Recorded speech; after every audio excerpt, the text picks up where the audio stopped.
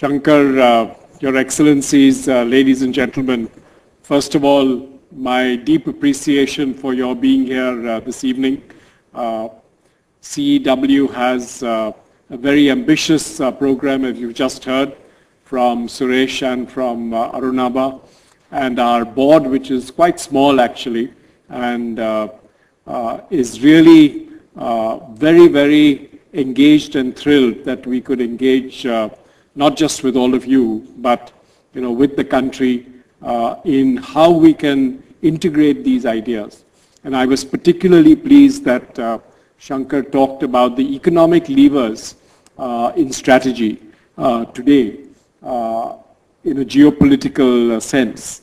And I think that we have to appreciate that our economic development and growth is to a very, very large extent going to depend on the way that uh, our programs and strategies on energy uh, and water and the environment play out.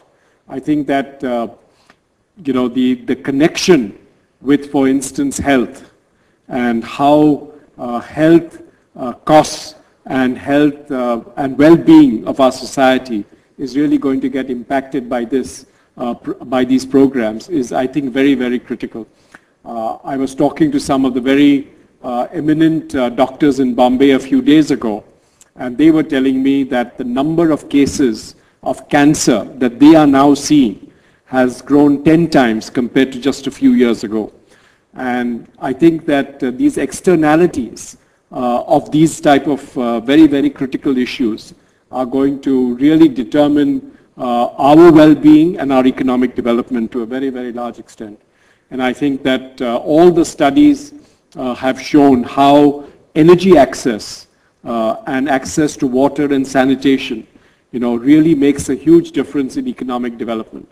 So I, I really appreciate uh, your uh, approach that it is these uh, very, very crucial and critical issues that is going to determine our economic future and our well-being.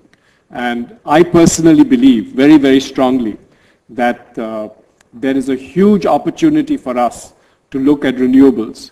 You know, India has uh, a huge potential in wind, a huge potential in solar, a huge potential in bio uh, wastes which can be used for energy, etc. And I think that the integration of all these issues uh, is very, very crucial.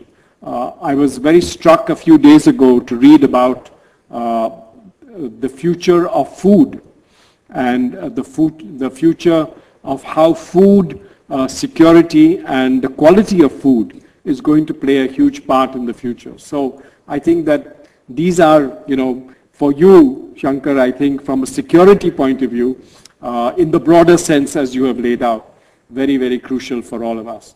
So thank you very much for your thoughts this, uh, this evening. Really appreciate that. Uh, you know, we are so thrilled that Suresh Prabhu has, uh, is chairing uh, this initiative because his experience, uh, you know, not just as being Minister for Environment, Energy and, and, and all industry, etc., but that his engagement in these issues is so strong. Uh, I think that uh, we are really very, very fortunate uh, to have you, Suresh. So thank you very much for everything that you are doing for this. And I think Arunabha has, uh, you know, in this very, very short period of two years, has really raised uh, the research and intellectual profile of CEEW to a very, very great extent. So Arunabha, really, uh, really appreciate uh, your efforts in this, and I think that it has been uh, uh, a very, a very big journey in a very short time, and we look forward to, you know, working uh, with all of you uh, to engage in these uh, very, very crucial issues. So thanks. Yeah, that's right. And we really do want to appreciate. Would you like the whole team to stand up, the CEEW team? Please do stand up.